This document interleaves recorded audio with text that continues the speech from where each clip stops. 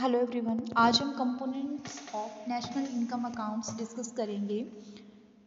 National income accounts में various components means various accounts manage किए जाते हैं। इनमें है current account capital account financial account और बैलेंस शीट तो फ़र्स्ट डिस्कस करते हैं करंट अकाउंट को। Current account include further three accounts. First is production account. Production account it shows value of goods and services. Second है income income account. It shows the income generated from production.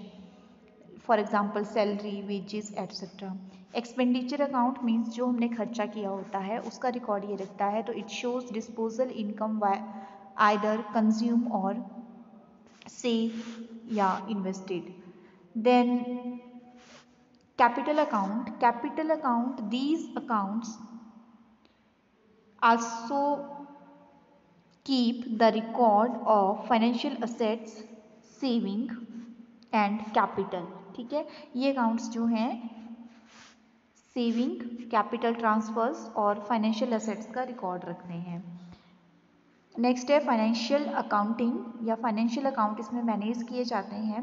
Shows information of asset and liabilities and net change in financial position of company.